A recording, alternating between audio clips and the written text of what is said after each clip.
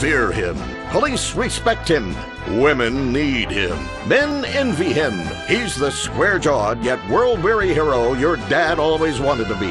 He's the diamond in the rough, fighting crime by breaking rules that haven't been written yet. He's even, when appropriate, seen with ethnics and women. The Bald Eagle Broadcasting System presents Gordon Moorehead in Moorehead Rides Again! He smokes 60 a day. He drinks a quart of rye at lunch. He has incredible powers of reasoning. And he keeps America safe when government intervention cannot. Sleep easy, America. Someone else is worrying about things so you don't have to. This episode of Moorehead Rides Again is brought to you by Los Santos Affordable Homes and Redwood Tobacco. Before we start this week's episode of Moorehead Rides Again, we'd like to tell you about a remarkable free offer. You can own an incredible, genuine Gordon Moorehead detective badge, replica gun, and packet of candy cigarettes so you can help protect your neighborhood the same way Gordon protects America. All you need to do is get your dad or uncle to write a check for $10. Send it in, and you'll be sent a certificate of graduation from the Moorehead School of Investigation, along with your badge, gun, and smokes. Work real crimes, solve murders, kill people with impunity, and smoke, just like a real crime fighter. Or sit on your couch wishing you had a dad who really loved you and a future as something other than a ninny. And now, Moorehead rides again in Moorehead and the Soviet Titwank, or Reds Under the Bed.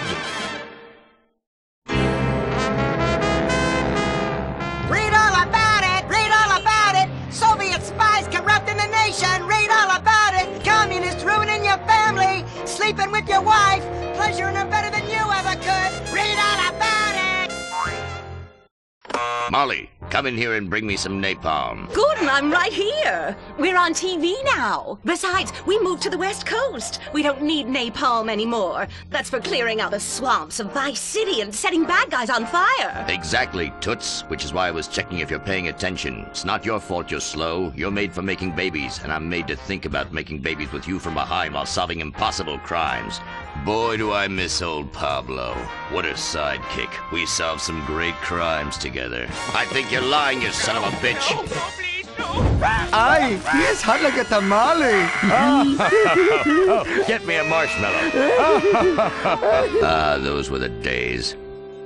Get that, will you? Of course, Gordon. Oh, Gordon, I'm so happy we moved from the swamps of Vice Beach to the desert paradise of Los Santos, where American ingenuity and just a little Canadian water has turned the harsh desert into a beautiful and very natural paradise of golf clubs, sprinkler systems, beautiful fruit farms, and hydroelectrical dams, filled with happy families and all the glamour of Vinewood. Oh, this place really is paradise, Gordon. Silly me. And don't forget, starter homes are very attractively priced here. And I enjoyed a very exciting two hour traffic jam after doing calisthenics on the beach. Exercise can be very dangerous for a woman, Molly. If you lose an ounce of that cushion, men will never court you. A man wants a woman with some thickness to her so she won't die during childbirth. Oh, you're right again, Gordon. Oh, Gordon, this place is like a dream. Hmm. Even paradise has a dark side.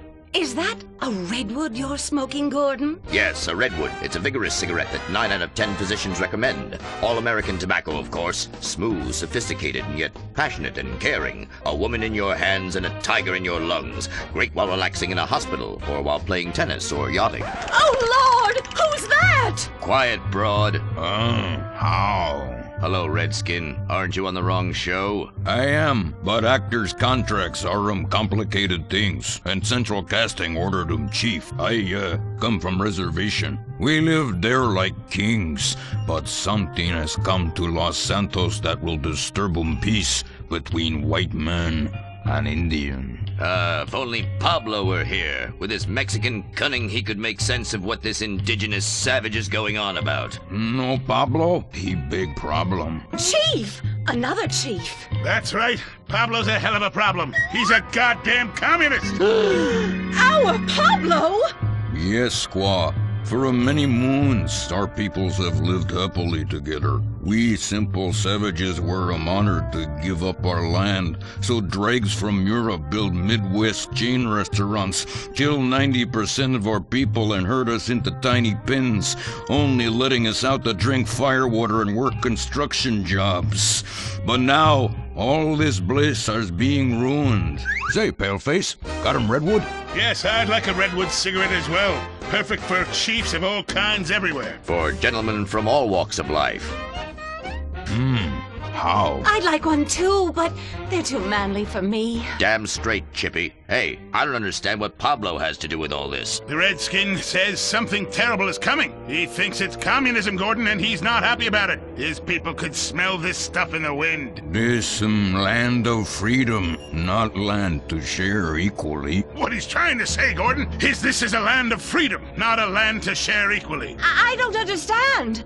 Oh, uh, being a woman, I can't help but stick my nose in where it doesn't belong and amble cluelessly through life. Can I fix you gentlemen a drink? Damn straight you can, woman. Two scotches and a ceremonial bowl of water for the chief. I'm on wagon. I'd use the local police force, but uh, the fact is, Gordon, they're useless. Lone existentialist crime fighters like yourself, men with an addiction to justice. They're much better at fighting evil than government fat cats and bloated examples of America's descent into decadence. Amen. We think that the commies have infiltrated the moving pictures. They're writing subversive themes into scripts to influence our children and women. The fact is, there's only one kind of red we like in this country. A red skin who knows his place and wears feathers a lot while having very little understanding of syntax. Not goddamn communists. There's communists in Vinewood? Oh, but this used to be a nice country. Oh, Gordon, I'm scared. I'm scared too, Molly, of what I'll do when I catch them. Me scalp 'em big nasty. All right, all right, all right, all right, all right, yeah, simmer down. Sorry. We'll have to find a way to sneak onto that motion picture studio lot and have a look around, see? I knew I can count on you. Who better to protect America than a drunk? A dame in a sensitive portrayal of indigenous people. How about we smoke 'em peace pipe? Oh, yeah. I'm in. Okay, all right, let's get out of here. I know exactly where to start. Are we going to the movie studio? No, Molly, we're going in here. Can't start a case without a fisted gin. Helps a man think. Now, where to find these pinkos? Hey there, partner, where you from? Oh, I am from uh, Georgia. Oh, I do love a peach. Yeah, I'm real American. I sleep with sister and, and finger ship. Well, no time to dilly-dally. I've got to solve this case, and I know just how to get into that movie lot.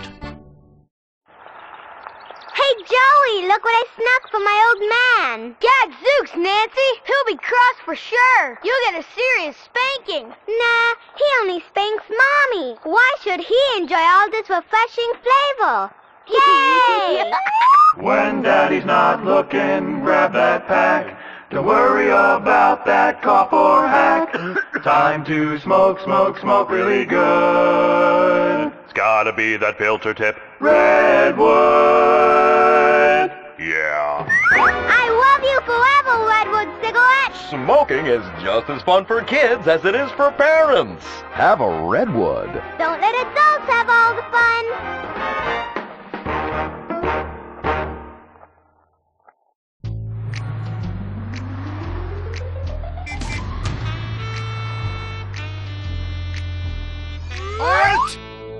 Where are you going? Look the other way, pal. We're fighting communists. Oh, I hate these communists. They killed my father in Stalingrad.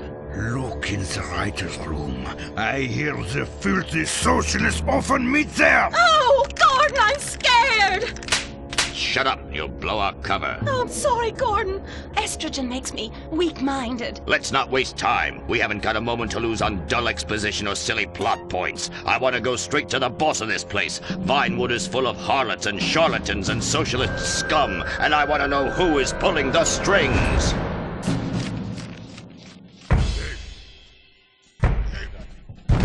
We need to have a chat, bucko. Ah, you've been overdoing the firewater again, huh? We can't afford to pay your kind for movie work. We're losing money. This is uh, advertising money. I'm no sitting bull, big chief pile of cash. I'm Gordon Moorehead, crime fighter, and I'm hunting commies, see? Ha! I knew it. Uh, those aren't mine. They, they belong belong to the maintenance man. A likely story, blaming the honest poor. Uh, I'm sorry, Mr. Zelder. I forgot my artificial hand. You slipped by this time, but I'm convinced you're running a massive propaganda operation here. One that's hell bent into turning this country into a bunch of weak minded, overly considerate Lenin lovers. Why, that's a bold-faced lie. Actors and movie executives would never push a liberal agenda. We studio bosses are too busy counting money all day and sleeping with young starlets to care about the dreck we're putting out. Uh, What you need to do is uh, visit the writer's room. Yes, that's what you should do. What I need to do is get this young lady out from under my desk. No teeth, damn it. Oops, sorry, Mr. Zelda. I didn't mean it. Oh, Gordon, this is so scary. Shut up! Running out of places to slap you. We're fighting a red menace here. We've got no time for emotion. What did you do during the war, Gordon? I fought fascism. In Germany? Italy? No dumbass Florida. Now shut your yap. We're here. Get Zooks! Someone's making monkeys of us. There must be another writer's room. Don't worry, I will track them. Over there. Ha! You're incredible, you savage. Pablo! That's not Pablo. Yes, it is. Igor Pavlovich, rescue at large. Comrades, you're too late. Already I have flooded your movies with communist propaganda. Uh, your workers will, they will rise up, unionize, demand ridiculous wages, and then all American industry will fail and move to communist China. It's good plan, no? Oh, please. Oh, that is rich. America will always be a pillar of industry. We're unstoppable. Our hunger and work ethic make us invincible. As if America would ever become fat, lazy, and entitled like you commies. And besides, I'm about to stop you. Oh,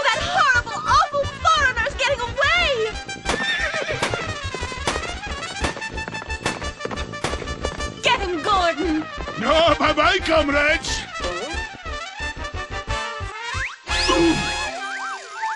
Ay, I fall down. Pablo! Hola, Senor Moorehead. Hola, Miss Momstein. Oh, Pablo, where have you been? I stopped for siesta and to have burrito. Such a cunning people. They nap half the day and mix the same four ingredients and give it 20 different names. Oh, can I get a chimichanga? Gordon, I bring you a present. But Pablo, Friendly's no longer a sponsor of this show. See, but this is old script, muy viejo. Well, in that case, give me a redwood, buy me a starter home, and stand the hell back. These people are about to be put on the cutting room floor. Boom! Ay. I guess weeding out trouble never goes out of style. How, muchacho? And I guess I would like a redwood. Join us next time for more adventures with Gordon, Molly, and the gang as they protect America's atomic secrets by setting some off. Only on Moorehead Rides Again!